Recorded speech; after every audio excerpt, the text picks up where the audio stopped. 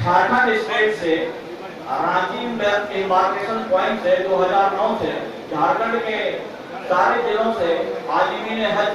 रांची से ही जद्दा और मदीना प्रवास कर रहे हैं। ये सहूलत अब अभी हज कॉन्फ्रेंस दिल्ली में हुआ था, उसमें चार इम्बार्केशन पॉइंट हटाने की बात हो रही है। उसमें रांची का भी नाम है।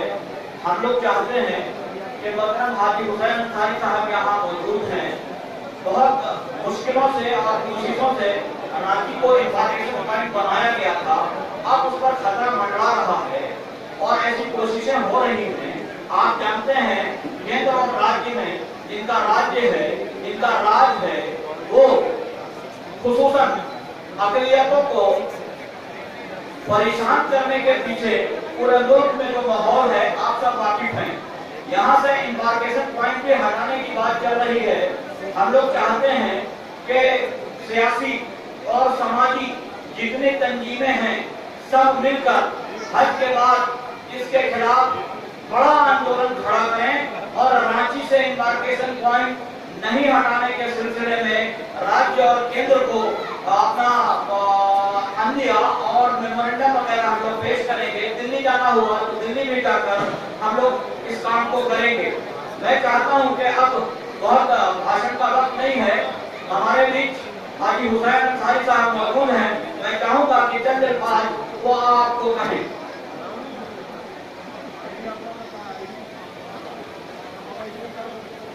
हर चरण में मौजूद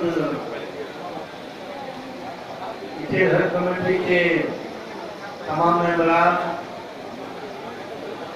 यहाँ उपस्थित महिला आयोग की पूर्व अध्यक्ष भगवान मनी जी हमारे बीच मौजूद जनाब साहब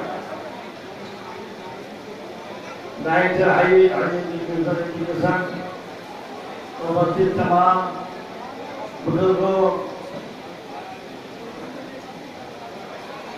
जाने वाले तमाम आज मैंने हज, तमाम व्यवस्थापक और लगातार हज कमेटी में हज करने में लगातार जो मेहनत कर रहे हैं, उनका हम यहाँ पर दिल से शुक्रिया अदा करते हैं। मोहतरम, लगातार रांची में मुझे मौका मिला था। ज़िम्मेदारी मिलती हमें पहले हर पहला। हर कोई चेयरमैन बने। और जो सहूलियतों से हो सके कमेटी से जाने से हम लोगों ने यहाँ पर किया। और मुझे का, तमाम लोगों का मेहनत का फल है कराची एयरपोर्ट से जब पहले यहाँ के लोग पकड़ा जाते थे, सारे लोगों को हमारे फूल राम साहेब जी जो एक्स मिनिस्टर थे पहले जो मिनिस्टर थे पूरे केंद्र में। उनके मेहनत से और तमाम लोगों की मेहनत से फिर यहाँ आके सेवा हुआ, जो लगातार अभी तक चल रहा है। फिर मुझे अखबार में हम लोग को देखने का मौका मिल रहा सुनने का मौका मिल रहा है। तो चार स्टेट का जो हर टर्मिनल है, उसको उससे खत्म कर दिया जाएगा। ज़ाहिर है कि हुकूमत किसके है, कैसा है सब कोई जानते हैं? सेंटर में और स्टेट में जिसकी हुकूमत है, उसे मदद करनी चाहिए और लोगों को यहाँ के आवाम को, किसी पार्टी का आवाम नहीं होता है, वो सब जिसकी हुकूमत होती है, आवाम उसका होता है। आज यहाँ पर केंद्र में और इसे में जिसकी हुकूमत है उनको चाहिए कि ज़्यादा से ज़्यादा इकबाल कैसे करें? बहुत से लोग यहाँ से बाहर पुजारी को भेज जो दर्शन के लिए बहुत से मंदिर भेज भेज रहे हैं। भगवान ने अच्छी बात है हम लोग पूछे कि यहाँ के लोग दर्शन नहीं कर पाते हैं। तो बहुत से दर्शकार बहुत से मंदिर में जाकर पूजा कराते हैं, जहाँ का लोग नहीं पाते ये खास करके हिंदुओं की चीज़ है। तो हर में लोग जा रहे हैं, काफ़ी परेशानी होगी जनता आपकी है, किसी पार्टी का नहीं है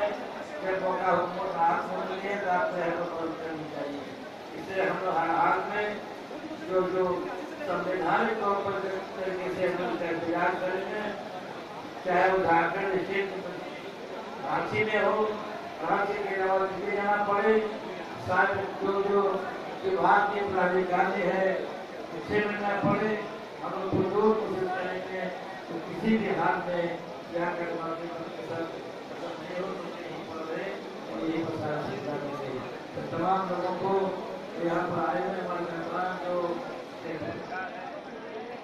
चार काम करते हैं उनसे मैं कहना चाहूँगा कि हर लोग चले जाने के बाद सही वक्त पर हम लोग का इंतज़ार करेंगे जाके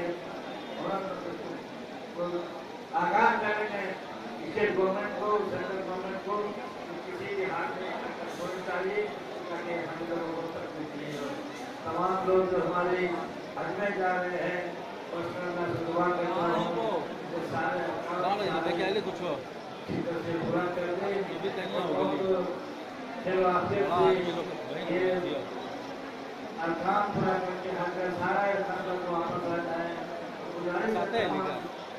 का को कि आप लोग के लिए स्टेट के लिए तमाम लोगों के लिए